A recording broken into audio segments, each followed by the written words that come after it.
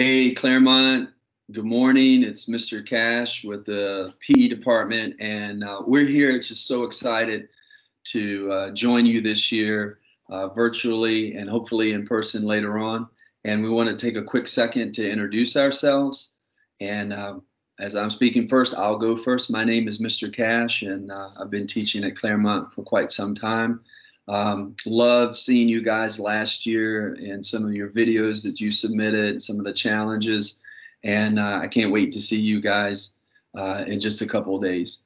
And now it's my pleasure to introduce our new PE teacher. Uh, some of you remember that Mrs. C retired, and we are happy to have Miss Kearney with us, and um, she's coming to us from uh, the Richmond, Virginia area. We're so happy that she's joined our team. So, uh, Miss Kearney, take it away.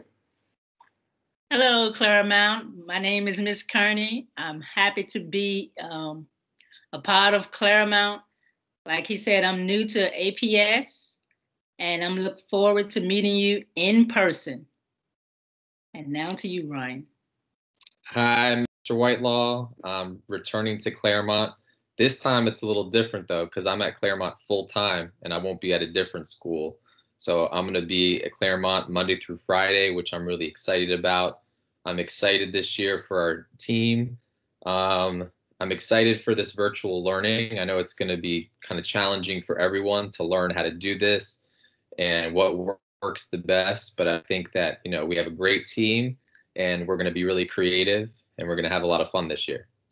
Yeah, Mr. Whitelaw, you hit it right. We're really going to try to have fun.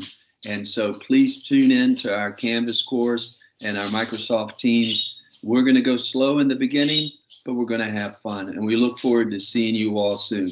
Take care, Claremont. Bye-bye. bye bye